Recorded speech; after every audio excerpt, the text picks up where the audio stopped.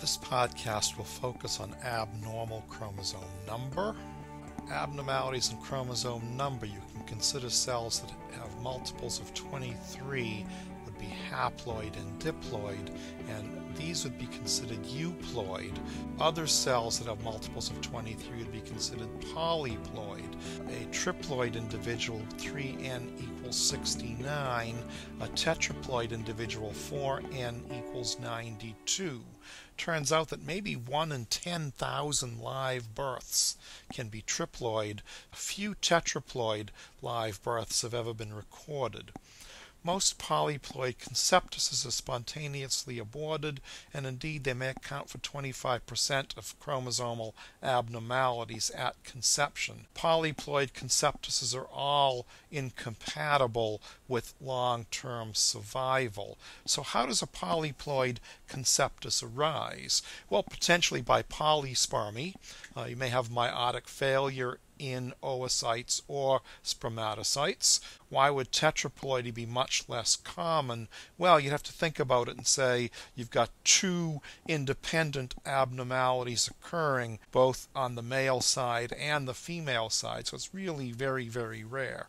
Polyploidy in most human somatic cells is not common, but it does occur regularly in cells of some tissues and organs. So remember that in the epithelial cells that line the urinary tract, you can have polyploid cells. You can even have cells that are two nuclei. So polyploidy is common in epithelium lining the urinary tract. Polyploidy is also common in human liver cells. Here you can see some liver cells that have very large nuclei, for example. An aneuploid cell is not an even multiple of 23 chromosomes. There's a missing chromosome or an extra chromosome. Aneuploidy usually, but not always, involves one chromosome. Autosomal aneuploids are clinically important. They usually arise by meiotic non disjunction autosomal monosomies rarely reach term. As you'll come to appreciate, autosomal trisomies can be fairly common. How do you wind up getting aneuploid individuals? Well, you may have non-disjunction that can occur at meiosis 1 or non-disjunction that can occur at meiosis 2. The diagram on the left shows non-disjunction at meiosis 1. After the first meiotic division, you've got cells that have two copies of a particular chromosome and cells with no copies of that chromosome. So if these were the developing sperm, sperm, and then you consider what would happen with a fertilized egg, here would be two conceptuses that are trisomic for this particular chromosome and two conceptuses that are monosomic for this particular chromosome. Here they're presumably getting the chromosome only from the maternal side. So this would be non-disjunction at meiosis 1. The issue would be that all of the conceptuses would be abnormal. 50% of the conceptuses would be trisomic, and 50% of the conceptuses would be monosomic. On the other hand, if non-disjunction is occurring at meiosis 2, and again you look at the percentage of conceptuses, 50% of the conceptuses would be normal ploidy, 25% of the conceptuses would be trisomic, and 25% of the conceptuses would be monosomic. Now remember, we're looking at the percentage of conceptuses that are normal. We're not looking at the percentages of live births that are normal, because that would be an entirely different question. From this example shown on the right, what we can say with general certainty is that monosomic conceptuses don't reach term. So in this case, two thirds of the live births would be normal, one third would be trisomic because the monosomic conceptus would almost absolutely be lost. Now, again, you don't know the question to ask because in many cases, even the trisomic conceptuses would be lost. So, really, you might say that in this case, 100% of the live births would be normal, but there may be a lot of pregnancy loss. Here is a karyotype with trisomic 21, so called Down syndrome. It's represented as 47 XY because it's a male with an additional chromosome 21 shown there on the karyotype. Trisomic 21 is the most common aneuploid that's compatible with survival to term occurs in about 1 in 800 live births. You should appreciate that three fourths of trisomic 21 conceptuses are lost spontaneously. Down syndrome. 95% of Down syndrome is a result of non disjunction during gamete formation.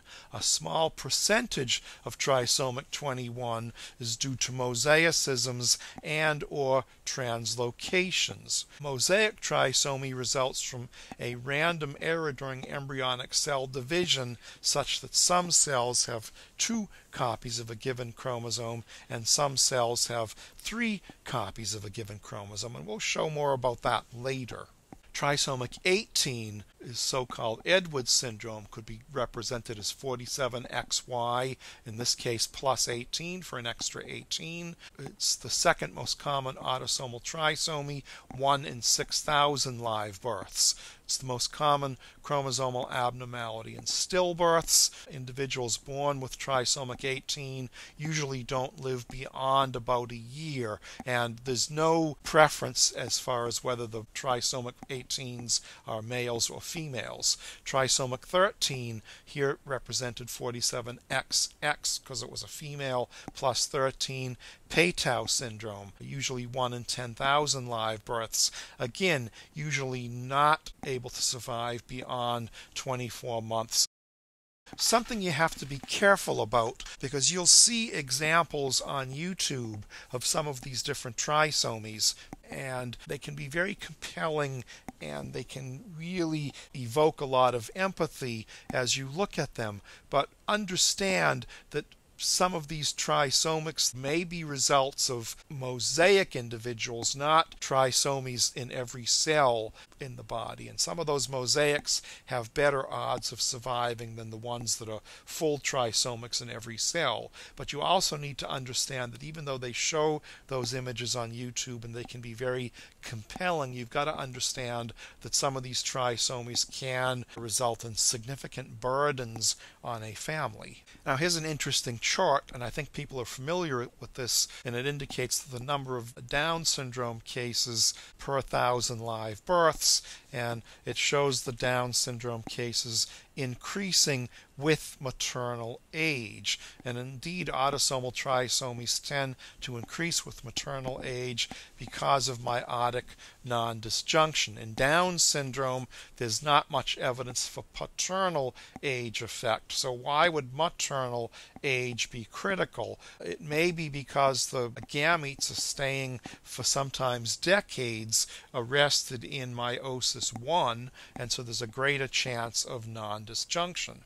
Understand that the number of Down syndrome cases increases with maternal age, but this is sometimes misleading because there are very many more individuals born with Down syndrome to younger women than to older women, and that's simply because more younger women are conceiving than older women. So you have to be careful what the statistics tell you. And that's what I mean by saying that these data relate to risk but not absolute number. Aging men pass greater numbers of genetic mutations to their children, while women tend to pass a fixed number regardless of their age. And this is a set of data that was actually published in the popular press in Time magazine, and it's showing the number of mutations that accumulate in sperm increases with age, whereas the number of mutations that accumulate in eggs stay relatively the same. And one probably can relate this to the fact that meiosis is occurring in men throughout reproductive life, so there's greater chances that there may be errors in the replication machinery or the DNA repair machinery compared to what occurs in women. Children from older men may have a relatively lower birth weight, there may be more stillbirths, and there are more psychiatric issues, especially with issues like autism or schizophrenia. And again, if we think about why that's the case, it's most likely because there's greater likelihood for breakdown in the molecular mechanisms like DNA repair or replication because gametogenesis is occurring throughout a man's reproductive life, whereas gametogenesis occurs early in fetal life in females and is arrested for most of uh, a woman's reproductive life. We can also talk about sex chromosome aneuploidy. So we talk about X chromosome trisomy or even more X chromosomes. These individuals are overtly female. There may be some intellectual disability. You'll see Barr body variations and or drumstick variations.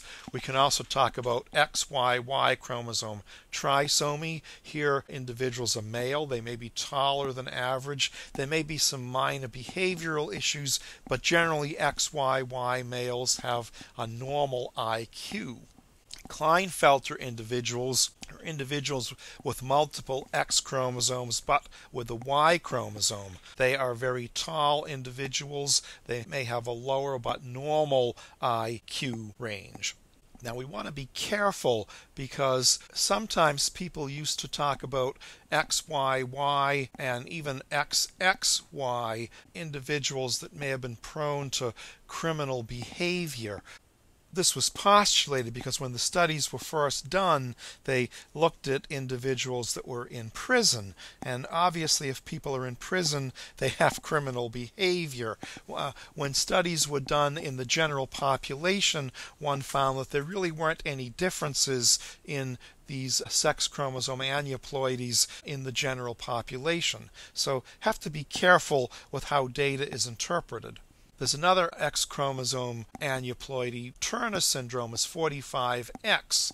This is the only monosomy that's compatible with life, but it turns out that 98% of the fetuses that are 45X are spontaneously aborted. Turner syndrome individuals have a very characteristic phenotype with a certain array of malformations. Their IQ range, however, is perfectly normal, and Turner individuals, 45 5X that do survive function and lead a normal life. Y chromosome monosomy is an absolutely lethal condition. You have to have at least one X chromosome to have a conceptus that's compatible with life. I think we showed you this slide in a previous podcast showing cells from normal females, XX, showing an individual with two Barr bodies, XX, and then with three Barr bodies, XXX. So the karyotype here would be 47XXX. The karyotype here would be 48XXXX, with three of the X chromosomes being present as Barr bodies. Here's an individual that would be XY, no Barr bodies. This individual could also be XO, a Turner syndrome. Here's an individual with the drumstick appendages in neutrophils, three X chromosomes, so the individual would be 47XXX. Here's a normal female, 46XX.